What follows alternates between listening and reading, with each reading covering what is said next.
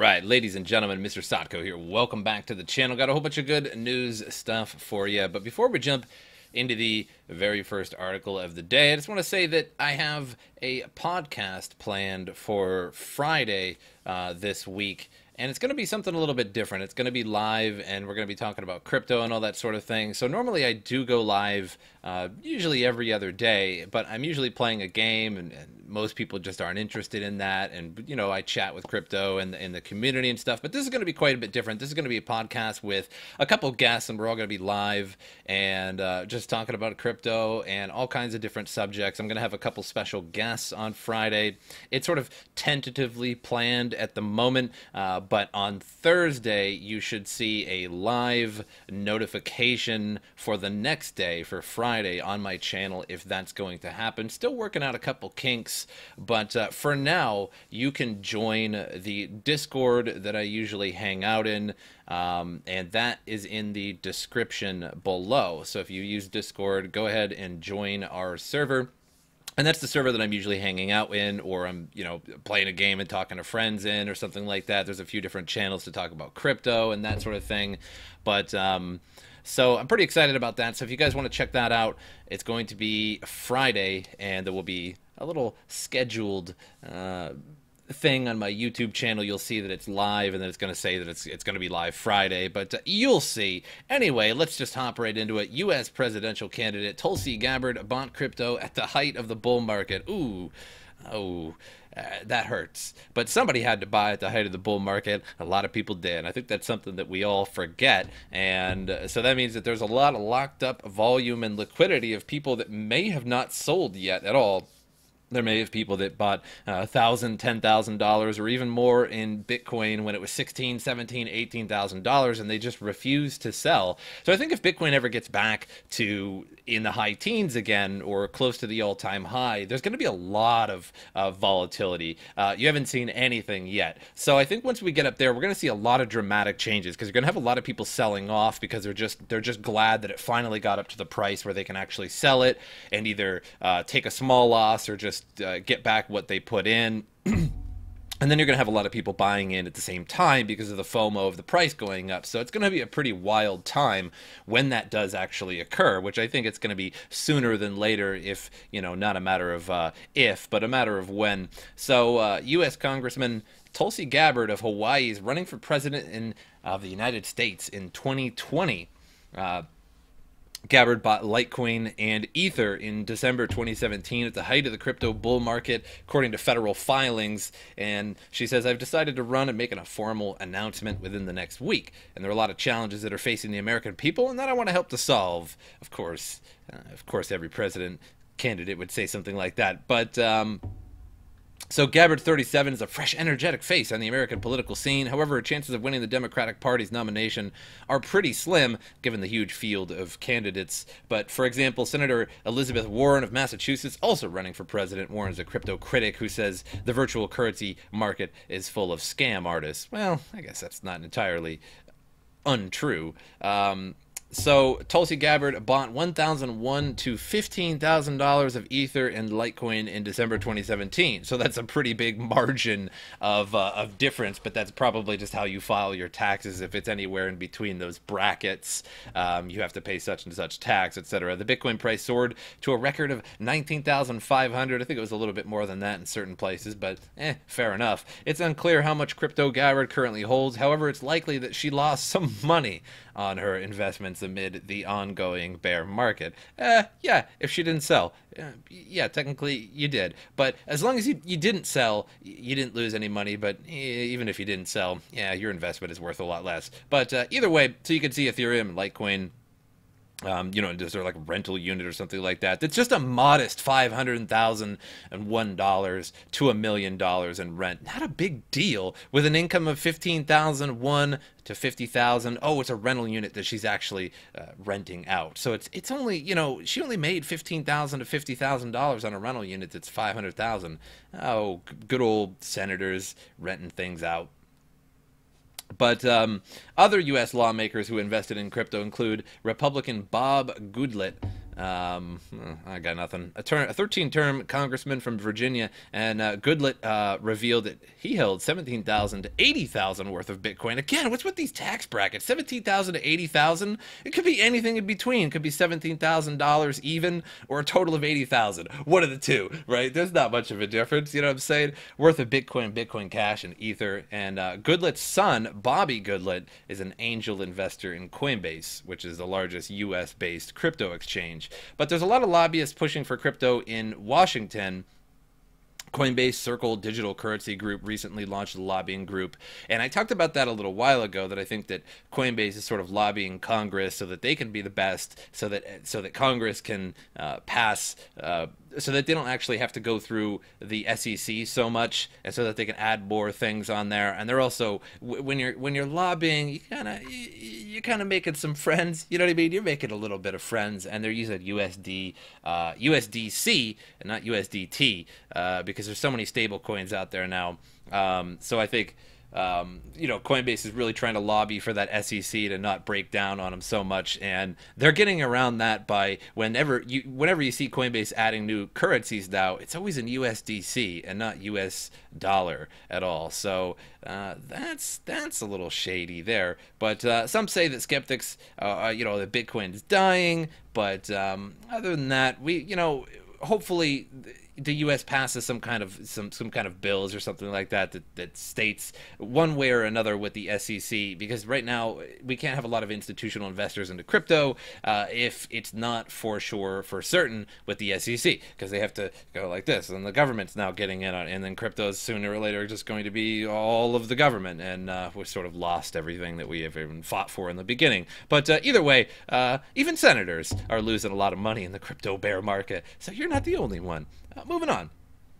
Lightning Network without invoices brings us closer to streaming money. The latest upgrade, Sphinx, which developers describe as being a work in progress, is nonetheless available to anyone already. Uh, the coolest part about this new feature is that it can be used today in the wild as long as uh, both nodes are updated to this branch. Um, so the new feature is it allows you to send funds instantly without needing to create an invoice. So before with Lightning Network, you had to create an invoice and it was this big pain, and then you could send it. But uh, now it's kind of like how Bitcoin network is now that you can just send crypto to somebody. But again, Lightning Network is very, very slow right now, uh, at least in terms of adoption. And it's also technically hard for people to run because not only do you have to run a Bitcoin node, you have to run simultaneously a Lightning Network node as well. And they are not particularly user friendly. So the Lightning Network is a protocol currently active for Bitcoin and Litecoin, which allows users to send tokens instantly with a fee averaging less than one US cent. The technology debuted, debuted on the Bitcoin network a year ago and has grown rapidly but remains in an experimental state as developers iron out stability and reliability issues. At present, sending or receiving a transaction still requires some technical understanding. Some, eh, some, eh, probably, let's just say a lot, uh, which has led to Lightning an unattractive option for entry level users despite its time and cost benefits. And I think that's one thing, uh, another whole talking point of crypto in general that. Um, developers it, they seem to not be focusing on the the, the user friendly uh, the usability of crypto. Uh, i think what developers should start doing is the grandmother test. If you developed a coin and you're like yes this is this is awesome and if you can take it to your grandmother's house and be like hey this is how you used a coin and this is this is what it does and this is how you use it etc and if your grandmother can understand it uh, then you're good to go. But if it confuses her in the least it's not ready yet. Uh, and I think that's something that, like, that's kind of a joke. It's somewhat facetious, but at the same time, it's a realistic thing. Uh, if if people don't get how to use crypto, then it's very difficult for them. And just imagine uh, people that don't know anything about crypto, have never used it. They have to research it. They have to get a wallet. They have to go into an exchange. They have to put money on an exchange. They have to buy it on the exchange. They have to send it to the wallet successfully without just messing that up and sending it somewhere totally different. Then they have to send that coin to the person that they want to buy it from. Wait for that and then get their and then get their product. So it, it, right now, it's not a very user friendly process, and I think that's what really is going to drive the future. Uh, in the same way that Windows, uh, you know, drove the future of of the home computer. There was, uh, you know, first MS DOS was mostly for uh, you know the the computer geeks, uh, the computer nerds, if you will knowing how to what what to press in, what directories, and how to use this, that, or the other thing, because it just was very, very difficult overall, um, especially for most people. And then Windows 95 comes along. Oh, now we got this desktop. I can make these folders. I could put all these files here. I could do all this. Uh, it's very, very easy. And as, as, Windows comes about, it's it's more easy as it goes on. Um, and that that changed the whole PC game for everybody, uh, especially especially once MS DOS came around. Before that, it was even more difficult, and just nobody needed a computer. And even people were saying, you know what? I don't think anybody needs the internet. You like well before that, there. I don't think any. What, there's no reason that uh, you know people quoted as saying there's no reason anybody wants a computer in their home or needs the internet. That's crazy. You know, it's all too hard and, and you need to be a scientist. But now Windows comes out, makes it totally different. So that's what crypto needs to do, in my opinion. Uh, moving on the quantum threat. Uh, for those of you who aren't familiar, quantum computers think a bit differently than PCs and smartphones, and uh, we now have much better at solving complex mathematical problems. Um, yeah, indeed they do. PCs are deterministic, and, and quantum computers are non-deterministic, and you get all of the outcomes for a particular uh, input. Whereas PCs, you're only going to get the, the, the, exact output that uh, that the computer is going to give you. Uh, it's totally different. Um, quantum computers are really amazing. I, I, highly suggest you guys watch a documentary on them. They're very interesting, but very, very primitive as of yet. And you kind of need to have liquid nitrogen around to cool them, uh, which I. Uh, do we got any liquid nitrogen? I don't have any, so I can't run one. Uh, but uh, you know, just as soon as you get your liquid nitrogen and your, and your quantum computer that's the size of a room, it's gonna be easy. Come on, you can just hook up Windows to it, or I don't know. The release of this new computer instantly piqued uh, the interest of some members in crypto who asked, uh, "Does this quantum computer threaten Bitcoin?" And the answer, as usual, can be found in the video archives of the great Andreas Antonopoulos, who said and explains, uh, "The threat of quantum computing is only real if it's available to one actor and not to others." Even still, if a person did manage to develop their own supercomputer, Bitcoin would probably be too small a target to waste it on. Hmm, maybe, or maybe not. Uh, meanwhile, if quantum computers are readily available to everyone, then the entire Bitcoin network will upgrade together, and there is no threat. When I tweeted this answer out yesterday, I was delighted to receive further clarification from legendary cypherpunk and cryptographer Adam Back, who I had the pleasure of meeting at a Bitcoin birthday party. In these three tweets, uh, Adam explains that the Q System 1 is super weak, even compared to a 1972 era computer. Furthermore, uh, there are quantum resistant solutions currently in Bitcoin's development roadmap, although we may be decades away from it uh, even being relevant. Uh, so Bitcoin uh, can calmly and slowly watch QC. So, there are a lot of quantum computers out now. Uh, I think one is is the D Wave, and I think one of them is the Google. I can't remember what exactly what they call it, but there's two different uh, types of quantum computers, and uh, the D Wave is one of them, and the uh, Google is the other one the D Wave is the weaker one, the Google is the better one, and either way, the, these computers aren't doing much as of yet. Uh, quantum computers are kind of different. So you would never really need a quantum computer, even in the age of quantum computing, at least currently, and I I could foresee at least in the next 50 years, probably not. Uh, you know, if you just want to get on your computer and play a game, watch a video, email, I don't know, watch your cat videos or whatever. Uh, a regular computer is just fine for that, and, and, there's no way, shape, or form that you need a quantum computer for. Quantum computers are better for uh, data analysis and and uh, facial recognition and database um, searching. So because a quantum computer can search the whole database at once, whereas a regular computer has to search every individual one. Now it's very very fast, and you won't notice it searching every individual one, but the quantum computer can do it all at once.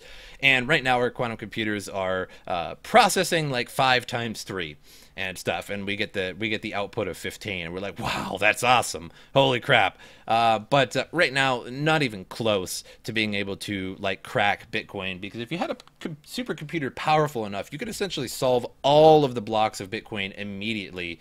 Um, and it wouldn't be 2047 uh, until it's solved. It would be fairly immediate. However uh, i don't think we're anywhere even remotely close to that but uh, however uh, i do think that um, Bitcoin might not be a small target to waste it on. But the problem is with that at the same time is that I think the only people that are going to have a quantum computer first is probably like the American NSA. Uh, they're always way ahead. I read an article one time uh, that in the 60s, I think it was in the mid or late 60s, they had a uh, 600 megahertz processor supercomputers like they, they all had 600 megahertz processors and operated at 600 megahertz if you will. And the the american people the the the, the world didn't get 600 megahertz processors till i think the late generation pentium 2s maybe pentium 3 um, and that wasn't for about 30 years later. So if you think about it, the NSA and their their overall funding and science and level of science and how much the, what they can do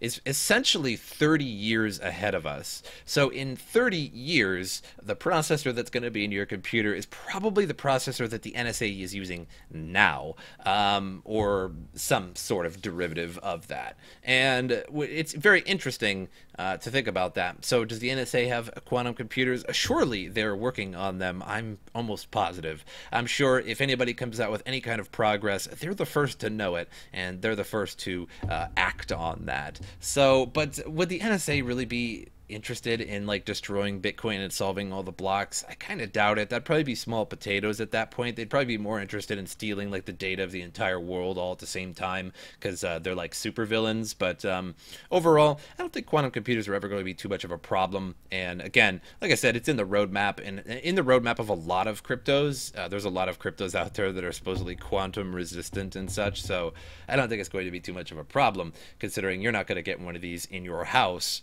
Uh, at least 50 years because uh, right now they need to be super cooled so not going to be a problem. The st louis federal reserve report increased supply of altcoins will decrease bitcoin's value. You think uh, the creation of competing altcoins is likely to place downward pressure on the prices of all cryptocurrencies, including Bitcoin. The conclusion was found by research conducted by the Federal Reserve Bank of St. Louis, and the report cites two perspectives. Bitcoin bulls believe that the cap supply and increased demand will increase Bitcoin's price, and the bears believe that its price will fall to zero. Uh, so we think the future price path is more likely to remain bounded between these two extremes. So if Bitcoin was $100,000, it should be 50,000 because the extreme is zero. I don't get what that's supposed to mean. But what I do get from this is is the point that uh, the, as more altcoins come out, Bitcoin is going to essentially go down and share a little bit less of that cap, but not right now. 52.4%. That's showing quite the opposite. However, Bitcoin dominance before uh, was in the 80s. So I think we can actually take a look at this and, and go back. So Bitcoin dominance right now, what that means is the share of the total market cap. Um, and you can see that um, in like July 2014, we had Bitcoin at 93%. Um, and even at the beginning of 2017, Bitcoin was at 84, 86, and such and such percent, where it, um, it, it, did fluctuate a little bit from time to time. But you can see that it did dunk uh, pretty good. And even at the, be, at the end of the bull run there, it was very low, and the altcoins were much higher. 32% was about the lowest point there. Um, so yes, it has been getting chunked away by altcoins, and we can see that in coin market cap. I mean, you can just scroll and scroll and scroll and see these. So 31 million that could have gone to Bitcoin, 32 million that could have gone to Bitcoin, uh, 33 million that could have gone to Bitcoin. Uh, but I don't necessarily dislike altcoins uh, because I feel like uh, disliking altcoins would be like disliking technological progress. And if it was just Bitcoin, great. But um, you know, sooner or later, one of these altcoins is going to come out that's going to just destroy all we ever knew, maybe. And that, that it was just like, wow, why didn't anybody think of this? This is amazing. This blows Bitcoin and everything else out of the water, and its price goes up, and the whole world starts using it. Who knows? Um, you know, it just in the same way with software and games. If Fortnite never came out, would you know, it would be some other game would be more popular, but then Fortnite comes along, and all the nine-year-olds in the world are using it. So you know, I think bashing altcoins is bashing, you know, technological progress. But a lot of these altcoins, uh, what we do have to admit, though, is a lot of these altcoins are borderline useless, and a lot of them haven't had any developers, uh, you know, uh, working on them or uh, you know improving them in any way shape or form for over a year or very long time and all this um, all this money, 12 million. We're, we're at the 200th coin, it's still 11 million to be on the 200th spot. And so all these millions essentially is just sort of sitting around. And um, a lot of them, we can all admit, aren't really going to go anywhere.